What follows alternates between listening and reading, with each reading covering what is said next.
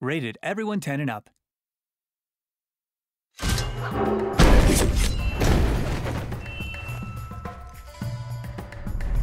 Inside the Fertile Crescent, between the Tigris and Euphrates rivers, a great civilization was born.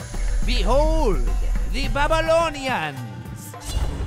The Babylonians bring you all new units, buildings, and technology. While the Babylonians have a military on par with all others, as you will soon see, they are the ideal civilization for building an economic juggernaut.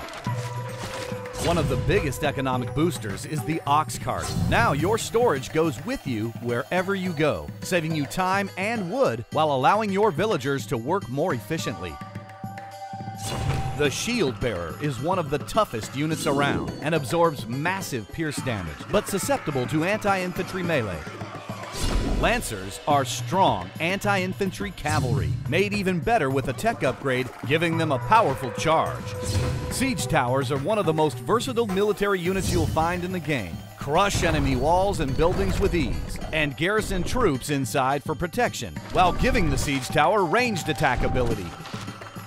As you can see, the Babylonian army is a true force to be reckoned with, but you will gain the advantage over your enemy when coupled with these unique structures.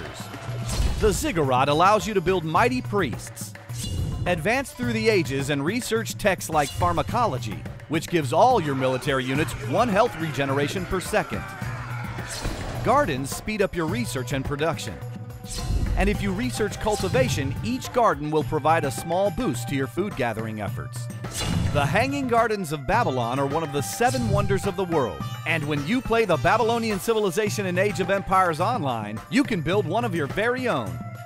The Babylonians were so clever that unlike other civilizations, they were able to construct clay walls, allowing them to put up protective barriers more quickly, helping them defend against enemies. As always, Age of Empires Online is free to play. So visit ageofempiresonline.com and get started playing the Babylonians today!